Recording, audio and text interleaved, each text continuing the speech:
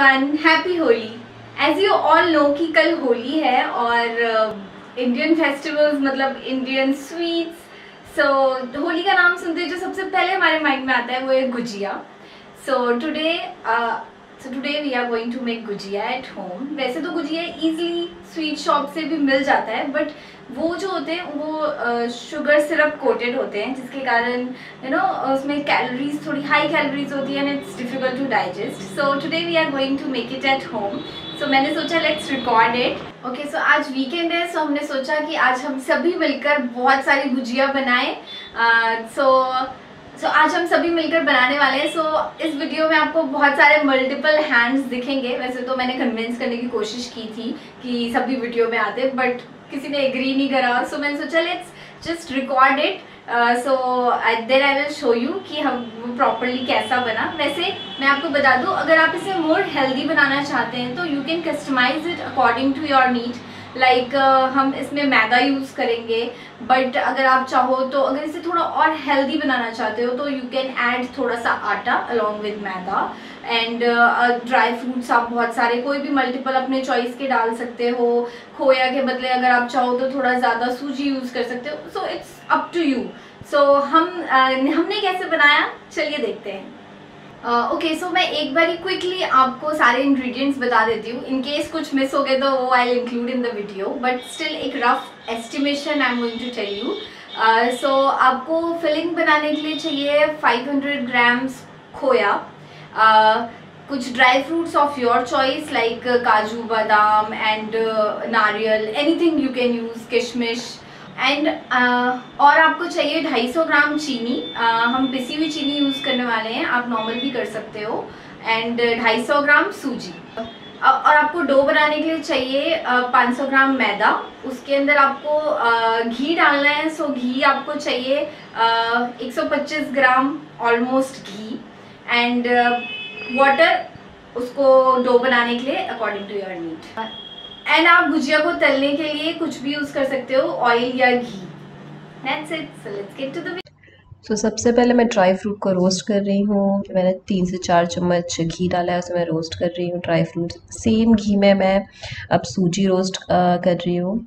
और इसको आप ना मी, मीडियम या बिल्कुल लो पे आप फ्लेम पे आप इसे रोस्ट कीजिए। तभी बहुत अच्छा कलर आएगा इसके। आप देख सकते हो हैं कलर चेंज हो गया है उसको मैं निकाल लूँगी। सेम कढ़ाई में मैं अब सूखा नारियल जो मैंने क्रश करके रखा है, उसको मैं रोस्ट कर रही हूँ। मेक श्योर कि आपको ये जलाना नहीं है बिल्कुल भी। इसको बिल्कुल ही लो फ्लेम में आपको रोस्ट करना है। और जल्दी जल्दी से चलाते रहिए बिकॉज़ ये बहुत ही लाइट होता है तो जलने का थोड़ा रहता है इसमें।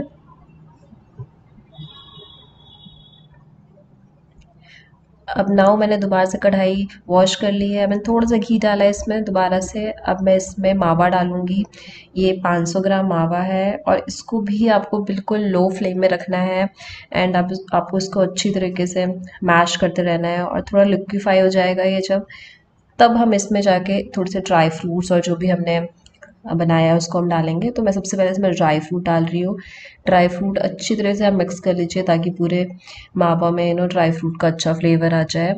अब मैं इसमें जो भी मैंने सूजी और जो मैंने नारियल रोस्ट करा है, अब मैं वो भी इसके अंदर ऐड कर दूँगी ताकि अच्छी तरीके से हर जगह फ्लेवर फैल जाए।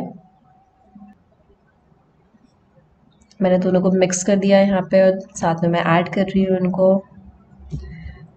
मेक श्योर कि आपका फ्लेम लो हो। अगैन मैं आपको बार बार याद दिला रही हूँ ताकि अच्छी तरीके से ये बिल्कुल मिक्स हो जाए और साथ में जले भी ना कुछ भी हमारा जो मिक्सचर है अदरवाइज़ कुछ जला जला टेस्ट आएगा।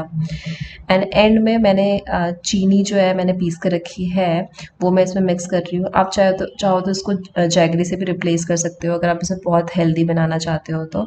और जैसे मैं चीनी डाल रही हूँ, मैं अपनी फ्लेम बंद कर दूँगी ताकि, और उसके बाद मैं अच्छी तरीके से अपना मिक्सचर मैं इसे मिक्स करूँगी और मैं आपको दिखाती हूँ कि मेरा एक्चुअल में मेरा मिक्सचर कैसा बन जाएगा। उसको 10 से 15 मिनट तक अच्छी तरीके से मिलाइए ताकि सब कुछ ये अच्छी तरह से मिक्स हो जाए एंड आपका मिक्सचर ऐसा बनना चाहिए एंड में। और नाउ अब हम डो तैयार कर लेते हैं और इसे ठंडा होने पे छोड़ देते हैं। डो के लिए मैंने यहाँ पे 500 ग्राम मैदा लिया है। मेक श्योर sure कि आप कोई भी मैदा ला रहे हैं, मार्केट से छान लीजिए तो बेटर है वो। ताकि कुछ भी इसमें हो तो निकल जाए। और इसके बाद सबसे मेन स्टेप आता है आपका कि हमें इसमें घी ऐड करना है। सो so, 500 ग्राम मैदा में मैंने 125 ग्राम घी डाला है और घी को अच्छी तरीके से ऐसे मिलाना है आपको ताकि घी हर जगह कम्प्लीटली मिल जाए। और ये सबसे मेन स्टेप होता है। सो ताकि आपके बहुत करारे बहुत अच्छे आपके गुजिया बनेगी। अच्छी बाइंडिंग आनी चाहिए घी से। सो so, मैं इसमें धीरे धीरे करके घी डाल रही हूँ मैं मिला रही हूँ। आप ऐसे मिलाएँगे तो परफेक्ट है ये। उसके बाद मैं इसमें पानी डाल के मैं इसका डो रेडी कर लूँगी। और पानी भी आपको थोड़ा थोड़ा यूज़ करना है बिल्कुल थोड़ा थोड़ा आपको टाइट डो बनाना है हमें बिकॉज़ मैं आपको दिखाऊँगी कैसा डो मैंने करा है रेडी सो so, ये मेरा डो है जो कि बहुत ही अभी टाइट है। और उसको टाइट ही रखना है बिकॉज़ जब उसको रेस्ट करने के लिए छोड़ेंगे ट्वेंटी टू थर्टी मिनट्स के लिए तब बिल्कुल सॉफ्ट हो जाएगा डो बिकॉज़ अगर डो बिल्कुल यू you नो know, आप गीला बना देंगे तो आपके बिल्कुल अच्छे नहीं बनेंगे गुजिया। अब मेरा डो ऑलमोस्ट रेडी है और मैंने इसको रख दिया है ट्वेंटी से थर्टी मिनट तक। नाउ इट्स टाइम कि हम गुजिया बनाने वाले हैं और आपको ये गोल सी रोटी टाइप बना लेनी है छोटी सी और मैंने यहाँ पे मोड़ लिया है गुजिया बनाने वाला। अब आपकी जो फिलिंग है मेक श्योर sure कि आपको एक चम्मच या डेढ़ चम्मच ही डालना है और वो बहुत ज़्यादा नहीं होनी चाहिए क्योंकि ये फिलिंग भी अंदर जाके थोड़ा सा फूल जाती है। तो बाहर ना आने को हो और ऐसे आपको बनाना है जैसे मैं आपको वीडियो में दिखा रही हूँ बिल्कुल। एंड यस yes, आपका गुजिया रेडी है और ये बहुत ईजी हो जाता है। अदरवाइज़ हाथ से बनाओगे तो बहुत टाइम टेकिंग हो जाता है। सी। एंड मैंने ऑलमोस्ट सारी गुजिया बना ली है। घी या ऑयल आप कुछ भी ले सकते हैं तलने के लिए अब हम तलेंगे इन सबको। एंड uh, अच्छी तरीके से आप इसे गर्म के लिए लीजिए अपना तेल। और मैंने टेस्टिंग के लिए थोड़ा डाल के देखा है कि हाँ uh, वो गर्म हुआ है कि नहीं हुआ है। अब मैं धीरे धीरे अपनी सारी गुजिया इसमें डालने वाली हूँ। अब मेक श्योर कि एक बार में ना एक या दो गुजिया ना डालें। इसमें ज़्यादा क्वांटिटी डालें जितना आपका आ सकता है उतने क्वांटिटी ऑफ़ ऑयल में। छः, सात या चार, पाँच जितना आ रहा है वो डालें। और सेकेंड टिप इज़ आप उसको बिल्कुल लो फ्लेम में पकाएँ। अगर आप लो फ्लेम में पकाएँगे तो बहुत अच्छे बनेंगे, जलेंगे भी नहीं है साथ में। और बहुत अच्छे दिखेंगे ये।